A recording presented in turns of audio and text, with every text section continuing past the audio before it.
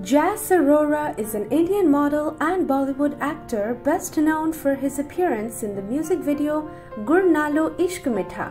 He was born on 21st May 1969 in Amritsar, Punjab, India. Arora is married to Dr. Bonnie Singh in 1998.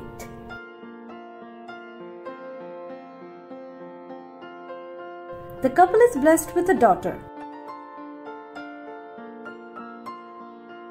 Jas Arora is also a fashion designer. At the 2016 Cannes Film Festival, Nawazuddin Siddiqui was seen wearing a dress designed by Jas.